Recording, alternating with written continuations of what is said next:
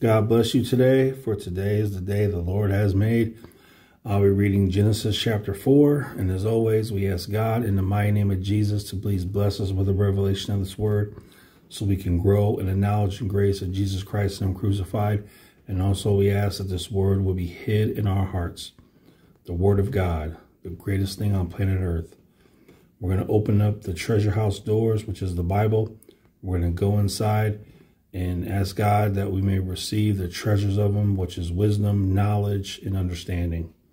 We need it desperately. All right, Cain and Abel. Here we go. Um, this right here will show you the, I did a video on it showing you the birth of religion. So that's why religion is no good. Uh, the religion is of man. So it's of the devil. It's no good. And you'll also see the first murder. That's what comes from religion. All right. So that's why in the book of Revelation, the harlot, the harlot with the blood of the saints in her cup spilling over, uh, that is religion. And religion has killed, God only knows the number of millions of people that religion has killed. All right. So all right. And Adam knew Eve, his wife, is the biblical connotation of the union of husband and wife in respect to the sex act. And she conceived and bore Cain. The first child born to this union would conclude exactly as the Lord said it would, with sorrow. And said, I've gotten a man from the Lord. By Eve using the title Lord, which means uh, covenant God and which refers to the seed of the woman, she thought Cain was the promised one. She evidently didn't realize that this was impossible for fallen man to bring forth the promised Redeemer. And she again bore his brother Abel. Abel means vanity. Cain being the oldest, this shows that Eve by now had become disillusioned with her firstborn, undoubtedly seeing traits in him which she knew could not be of the promised seed. She was losing faith in God, and Abel was a keeper of sheep, but Cain was a tiller of the ground. Both were honorable professions. And in the process of, of time, it came to pass. The phrase used here refers to a long, uh, infinite, uh, indefinite period that Cain brought of the fruit, fruit of the ground an offering unto the Lord. Here we go. Here we go. This was probably the first offering that he brought, even though the Lord had explained to the first family the necessity of a sacrificial system, that is, if they were to have any type of communion with God and forgiveness of sins, there there's evidence that Adam, at least for a while, offered up sacrifices. Cain knew the type of sacrifice that the Lord would accept, but he rebelled against that uh, admo a admonition, demanding that God accept the labor of his hands, which in fact God, not, God could not accept. So we have in the persons of Cain and Abel the first example of a religious man of the world and a genuine man of faith. So there it is, the birth of religion religion, the refusal to do things God's way because you want to do things your way with your hands so you can receive the glory, so you can say you've done it. And now, fast forward through all these times, why is religion around? Money, power, and sex. That's why religion is around right now. That is religion. Money, power, sex. And there was the birth of it right there. He didn't want to do it God's way. He wanted to do it his way. That's that that's religion for you. So once again, if you belong to a religion, get away from it right now. Leave that religion right now. Ask God to free you from that religion, deliver you from that religion, because religion is man made of the devil, and Christianity is a personal relationship with Christ.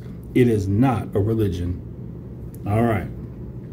Four, and Abel, he also brought the first things of his flock know, the fat thereof.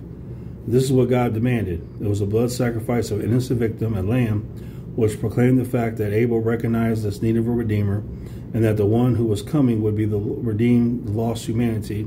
The offering of Abel was a type of Christ and the price that he would pay on the cross at Calvary in order for man to be redeemed. And the Lord had respect unto Abel and to his offering. As stated, this was a type of Christ and the cross and the only offering which God will respect. Abel's altar is beautiful to God's eye and repulsive to man's. Cain's altar is beautiful to man's eye and repulsive to God, God's. Um, these altars exist today. Around the one that is Christ and his atoning work, few are gathered. Around the other, many. God accepts the slain lamb and rejects the offered fruit, and the offering being rejected, so of necessity is the offerer. But unto Cain and to his offering he had no respect. Let us say it again God has no respect for any proposed way of salvation other than Jesus Christ and Him crucified. And Cain was very angry, and his countenance fell. That which filled Abel with peace filled Cain with wrath. The carnal mind displays his enmity against all this, this truth, which so gladdens and satisfies the heart of the believer. And the Lord said unto Cain, God loves Cain just as he did Abel, and wishes to bless him also. Why are you angry? Abel's altar speaks of repentance of faith and of the precious blood of the Christ, the Lamb of God without blemish. Cain's altar tells of pride, unbelief, self righteousness, which always elects anger, elicits anger. And why is your countenance fallen? Anger in one form or the other accompanies self righteousness, for that is what plagued Cain. God's righteousness can only come by the cross, while self righteousness is dependent on works. If you do well, shall you not be accepted? If you bring the correct sacrifice and thereby place your faith, and if you do not well, sin, a sin offering, lies at the door. A lamb was at the door of the tabernacle, and unto you shall be his desire, and you shall rule over him. And the Lord promised Cain dominion over the earth of that day, if he would only offer up and place his trust in the right sacrifice. He promises the same presently to all who trust Christ. And Cain talked with Abel his brother, and it came to pass, when they were in the field, that Cain rose up against Abel his brother and killed him. The first murder, Cain's religion, was too refined to kill a lamb, but not too cultured to murder his brother. God's way of salvation fills the heart with love. Man's way of salvation inflames it with hatred. Religion has never been has ever been the greatest cause of bloodshed. There it is right there. As I did a video on this, my, my birth of religion video. He couldn't kill a lamb no, couldn't do that. That was too much. It was too much to kill a lamb. But to kill his own brother, no problem. Who does that remind you of today? Who does that remind you of? We have untold millions of people who would kill all the humans on planet Earth before they would sacrifice the lamb to God. That is what you get. So, once again, if you belong in a religion, you need to get away immediately. Get away immediately. And the Lord said unto Cain, Where is Abel your brother? Adam sins against God, and Cain sins against man. In their united conduct, we have sin in all its forms, and that on the first page of human history. Isn't that something? I, I, I tell you, man, that this this is what we have. Immediately adam and eve fall to sin and this is the results of sin. You see how that's that's why i tell you god does not accept sin. He hates sin. He will not accept sin. And sin ruins everything. And he said no not. I am my uh, and he said i know not. Am i my brother am i my brother's keeper? He showed himself a liar in saying, I know not, wicked and profane, and thinking he could hide his sin from God, unjust in denying himself to be his brother's keeper, obstinate and desperate is, is in not confessing his sin. And he, God, said, What you have done, this concerns man's sin, the fruit of a sinful nature. The voice of your brother's blood cries out to me from the ground. There is some scriptural evidence that Cain cut his brother's throat. Thus, the first shedding of human blood that ominous thought sprang, that thought sprang up, divinely bestowed, that the earth will grant no peace to the one who has uh, uh, wantonly stained her face with the life stream, life stream of man. And now you are cursed from the earth. Cain reputed the cross, murdered his brother, and now is cursed by God. This is the first curse leveled by God against a human being which has opened her mouth to receive your brother's blood from your hand. It was the beginning of which of what has proven to be saturation from then until now. The earth has been soaked with the blood of innocent victims. When you till the ground, it shall not henceforth yield unto you her strength. Presents the fact that Cain had polluted man's habitation, and now, when he tilled the soil, it will resist him as an enemy. A fugitive and a vagabond you shall be in the earth. Presents the search not a better lot, but under the compulsion of an evil conscience. And Cain said unto the Lord, My punishment is greater than I can bear. Cain did not see the enormity of his sin, but the severity of his punishment. In other words, there was no repentance. So there it is. It's the punishment he had a problem with, not that he murdered his brother. So I'll say to you if it's your punishment, your chastising from, if, if it's the chastising from God you have a problem with, but it's not, but your sin you don't, you're just, you're being just like Cain. You're being just like Cain. Always remember, we get what we get because of our sin. Understand that. All right, so, and Cain said, okay, and 14, Behold, you have driven me out this day from the face of the earth. Adam's sin brought expulsion from the inner circle, Cain's from the outer. And from your face shall I be hid. To be hidden from the face of God is to be not regarded by God and not protected by his guardian care. And it shall be a fugitive and a vagabond in the earth a wanderer, and it shall come to pass that everyone who finds me shall seek to kill me. The reference by Cain to other individuals proves that he and some that he that in some 100 plus years since Adam and Eve were created, the first parents had other children by this time. There could very well have been several thousands of people on earth, and no doubt were. And the Lord said unto him, Therefore, whoever whoever kills Cain, vengeance shall be taken upon him sevenfold. Cain was allowed to live in order that he might be a perpetual perpetual warning to others that the blood of their fellow man must not be spilled. However, very few heeded as we present as as few presently heed. And the Lord set a mark upon Cain, lest any finding him should kill him. We aren't told what the mark was, but evidently all knew. So the punishment for this for this for this devil here just to be a vagabond, fugitive, have everyone want to kill you, just roaming the earth. That, you know what? That's what he deserved, isn't it? Um, if he had repented, if he had repented, if he had fell to his face and said, Oh God, you know all things. I have killed my brother. Oh God, forgive me. And if he had meant it, if he was sincere, God could have, God would have forgave him and he could have been given the right sacrifice and God would have dealt with him accordingly. But instead, he didn't do that. And this is what he gets. And Cain went out from the presence of the Lord. Those in rebellion against God did not all desire his presence, and for all obvious reasons, and dwelt in the land of Nod, in the east of Eden. Nod means wandering. The majority of the human race wander because they don't know God and therefore have no peace. And Cain knew his wife, biblical terminology for conception, and she conceived and bore Enoch.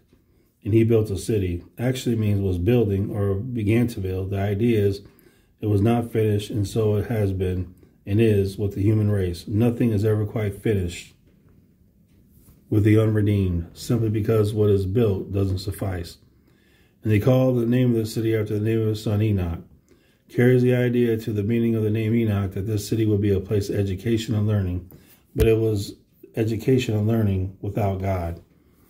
And unto Enoch was born Irad, and Irad begot father, uh, you see the names, uh, Methuselah, he begot Methuselah. Um, all this was 300 or more years after the creation of Adam and Eve. And Lamech uh, took unto him two wives. The name of the one was Adah, and the other name of her Zillah uh, for the first instance of polygamy recorded in the Bible. And uh, Adah bore Jabal, he was the father of such dwell in tents and of such have cattle. And his brother's name was Jabal, and he was the father of all such as handle the harp and organ. Seems that Jabal was the originator of musical instruments. Man's ear is now filled with other sounds than those which issue from Calvary, and his eyes is filled with other objects than the crucified Christ. So let's go back to this man having two wives. Um, it should be obvious, but the earth had to be populated. And so when you have to populate the earth, you may just find yourself having to have more than one wife because the earth must be populated. Remember, you just started off with Adam and Eve. And so the earth had to be populated, right? Now, fast forward to modern times, of course, um, the earth doesn't need to be populated anymore like that. So um, that that you can't do that anymore. That would be a sin. God's against that. All right. Um, and Zillah uh, Tubal Cain, an instructor of every uh, artificer in brass and iron, and her sister of Tubal Cain was Naamah. Uh, Tubal Cain was the first one to begin work with metals. The name of Cain was probably added to show that these were Cainites. Uh, which means beautiful. And Lamech said unto his wives, Adah and Zillah, Hear my voice, you wives of Lamech. Hearken unto my speech, for I have slain a man to my wounding, and a young man to my hurt. If Cain shall be avenged sevenfold, truly Lamech seventy and seventyfold. This is the first recorded poem in human history. Like so much poetry ever since, it glorifies immorality and murder and denies coming wrath. Man has attempted to deny judgment ever since. Nevertheless, judgment one day is coming. And Adam knew his wife again, and she bore a son and called his name Seth. They were dealing with Cain's line in the beginning of corruption and violence. Moses goes back some years to the birth of Seth. The Holy Spirit will single out Seth because he was the lineage of Christ. The name Seth means appointed substitute, For God said, She has appointed me another seed instead of Abel, who whom Cain killed. When Cain was born, Eve said, I have gotten a man from the Lord, indicating that she believed in the covenant. Now she uses the term God in effect, stating that she has lost faith in the covenant. As stated, this seed would be the one through whom Christ would come. But because of faithlessness, Eve did not know or believe this. And to Seth, to him also there was born a son, and he called his name Enos. The name Enos means sickly, mortal, decaying man. The awful results of the fall are now beginning to sink in. Then began men to call upon the end the name of the Lord. Probably refers to contempt, quite possibly the family of Cain, knowing that Seth had now taken the place of Abel, as regards the firstborn or appointed one, uh, contemptuously refers to them as the God people or the Lord people. So that's chapter 4 of Genesis. We see the birth of religion, what religion does, it murders, um, we see unrepentance. We see no what no faith results in. So basically, we see the results of you not having faith, you murdering, you being in, a religion, um, and so on and so on. So uh, the Word of God, what a blessing it is, and we see we see how people can be. So, as always we always need to turn to God quickly, no matter what. We need to run to his mercy and grace and ask for forgiveness, and we will be forgiven for, for, for our sins. So, well, um, God bless you.